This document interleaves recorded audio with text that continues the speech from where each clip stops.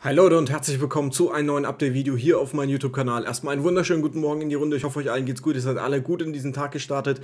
Momentan traden wir bei ungefähr 19.000 US-Dollar.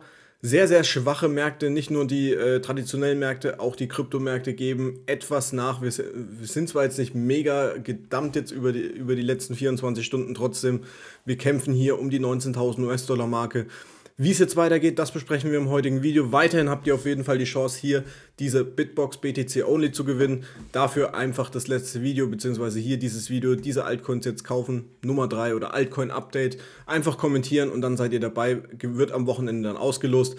Dazu jetzt genug Werbung, bevor wir starten. Lasst dem Video ein Like da, abonniert den Kanal, um nichts mehr zu verpassen. Und wenn ihr Bock habt, drückt auf die Glocke, dann werdet ihr immer benachrichtigt. So, Jetzt aber zu den Charts. 19.000 US-Dollar. Wir sind am Wochenende in der Range zwischen 19.300 und 19.600 US-Dollar getradet. Wenig Bewegung, wenig Stärke, kaum Volumen im Markt. Und jetzt sind wir heute nach knapp unter die 19.000 US-Dollar kurzzeitig gefallen. Jetzt kämpfen wir hier um diesen 19.000 US-Dollar-Marke. Wir sind hier des Öfteren immer wieder, ähm, sag ich mal, haben immer wieder hier Support gefunden.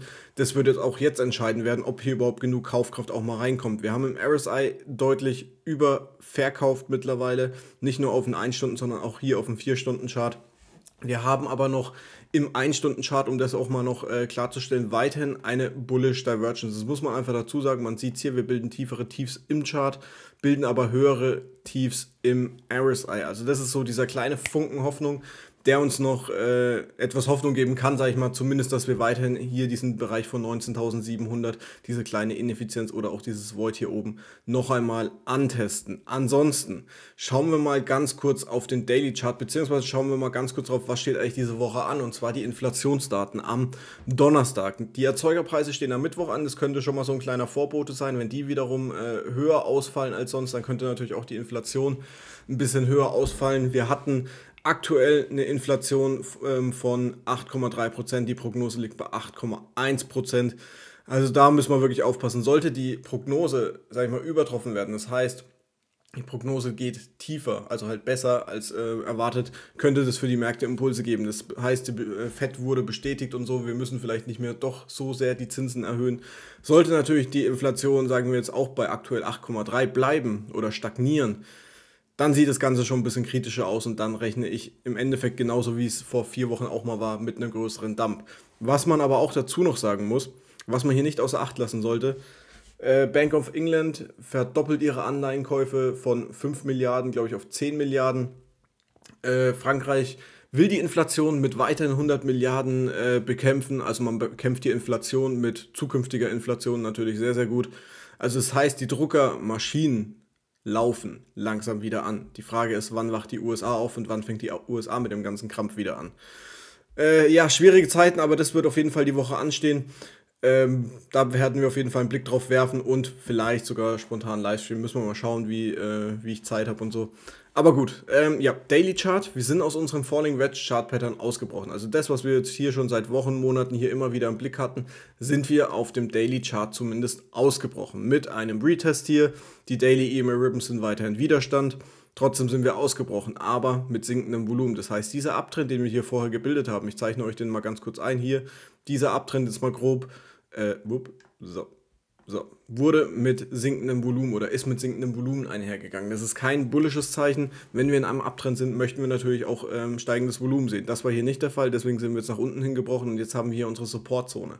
Sollte die brechen, wäre der nächste Support im Laufe des Tages hier bei ungefähr 18.200, 18.300 US-Dollar. Einfach hier diese letzten äh, zwei Tiefs hier verbinden. Das wäre dann unser nächster Support. Da wird es dann natürlich interessant, weil wir dann wieder in unserem Falling Wedge Chart Pattern drin wären. So, jetzt gehen wir aber mal noch auf den Weekly Timeframe und da wird es dann, sage ich mal, ein bisschen interessanter. Und da sehen wir, im Endeffekt letzte Woche haben wir nicht drüber geschlossen aus unserem Falling Wedge. Ganz im Gegenteil, wir sind genau mit der Weekly äh, Candle genau hier in unserem Falling Wedge äh, drin geblieben. Mit der jetzigen, also diese Woche, führen wir gerade den Retest aus, in Anführungszeichen.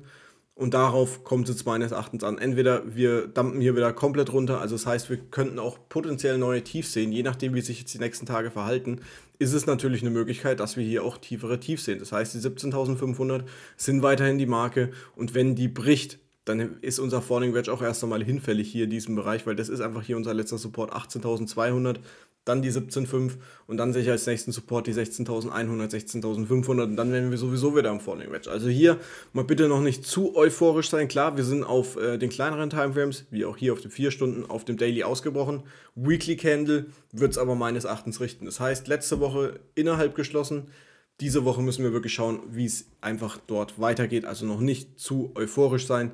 Meine Long-Position ist auf jeden Fall noch offen, die ich hier oben damals in Golden Pocket eröffnet habe bei 19.4.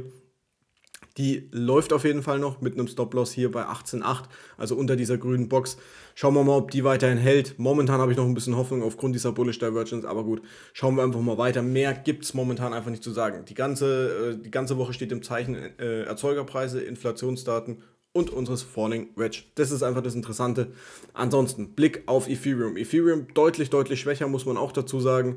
Die Ineffizienz auch hier bei ungefähr 1345 nicht geschlossen, keine Kraft.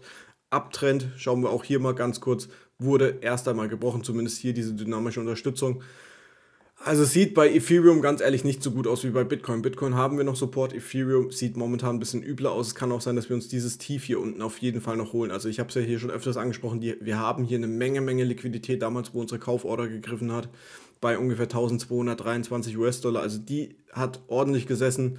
Und der Markt geht halt dahin, wo die meiste Liquidität ist. Deswegen früher oder später wäre es wahrscheinlich wirklich sinnvoll, einfach hier ein tieferes Tief zu bilden, hier dann zu konsolidieren und dann einen neuen Anlauf nach oben hin zu starten. Und sowas eben, was wir seit Bitcoin auch äh, seit Wochen, Monaten besprechen, immer dieses tiefere Tief bei 17.500, weil da eben so viel Liquidität unten liegt. Und wenn wir die abholen, können wir hier wirklich möglicherweise von einem Boden sprechen. Auch, ich bin kein Wyckoff-Fan, aber trotzdem kristallisiert sich meines Erachtens da immer mehr ein bisschen äh, raus. Einfach diese letzte Spring-Phase. Ihr wisst, also die, ihr könnt euch alle dieses Wyckoff, ansonsten googelt das jetzt einfach, Wyckoff-Pattern mit dieser Spring-Phase unten. Das heißt, wir sind die ganze Zeit in einer Range, genauso wie wir es bei Bitcoin eigentlich sind, hatten dieses Fake-Out nach oben, das waren die 24k.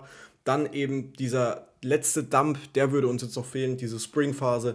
Und das würde dann, sage ich auch, bei Ethereum dann einfach so gut passen und dann, sage ich mal, wirklich eine Bodenbildung und dann vielleicht die Trendwende, auch mit Inflationsdaten und so. Wer weiß, das spielt da alles natürlich mit. Die äh, Druckerpressen, ich habe es angesprochen, werden langsam immer mehr angeschmissen. Also hier kommt langsam meines Erachtens Bewegung rein. Ja, Ethereum äh, abgeschlossen, gibt nicht viel. Äh, XRP, erste dynamische Unterstützung hier gebrochen. 4 Stunden E-Mail Ribbons momentan als Widerstand anerkannt. Wir haben noch den Abtrend bei ungefähr 47 US-Dollar-Cents. Da wird es dann interessant, aber ich hoffe weiterhin ganz ehrlich, dass wir uns hier noch dieses höhere Hoch droppen bzw. holen und dann, äh, sage ich mal, hier in das Golden Pocket bei 41 US-Dollar Cent fallen. Ansonsten, wir akkumulieren hier, sage ich mal, auf sehr, sehr hohem Niveau. XRP hält sich sehr, sehr gut meines Erachtens nach, auch vom Volumenprofil ähm, her.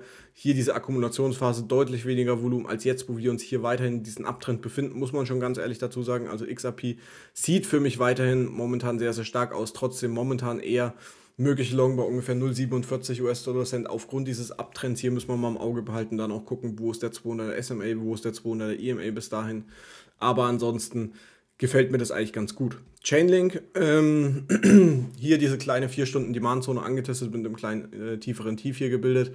Grundsätzlich weiterhin in einem Abtrend, auch wenig Änderungen hier. Traden hier weiterhin in einer engen Range äh, müssen wir uns jetzt auch nicht weiter, sage ich mal, drauf aufhalten. Was wir uns noch angucken könnten, vielleicht noch Polkadot, auch hier deutlicher, deutlicher Abverkauf. Für mich jetzt langsam wieder hier ein bisschen Nachkauf interessant, haben wir ja schon in Altcoin Update drüber gesprochen. Äh, diese grüne Kaufzone kommt immer näher. Die Range bei Polkadot hält seit Wochen, Monaten, aber auch hier müssen wir uns darauf gefasst machen, jeder, der hier kauft, dass wir hier nochmal dieses tiefere Tief bei ungefähr genau 6 Dollar bis ungefähr 5,95 Dollar sehen, aufgrund dieses krassen Volumens, was einfach hier unten noch liegt. So, so viel dazu. Ich würde sagen, wir schauen uns noch ganz kurz die News an. Äh, Bitcoin und Smartphone, mobile Geräte können die Massenakzeptanz von Kryptowährungen fördern. Stimme ich absolut zu, egal wo, äh, jeder hat sein Handy dabei. Es gibt digitale Kreditkarten, digitale Debitkarten, was weiß ich. Äh, ganz ehrlich, Binance, jede Exchange mittlerweile bietet irgendeine Kreditkarte an. Also stimme ich auf jeden Fall zu. Wen der Artikel aber interessiert, gerne bei CryptoGuru vorbeischauen. und äh, da gibt es natürlich auch noch viel, viel mehr News. Kann man verlorene Coins wiederfinden.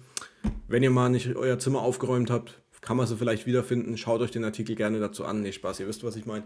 Ansonsten würde ich sagen, ähm, hören wir uns, denke ich, dann morgen wieder.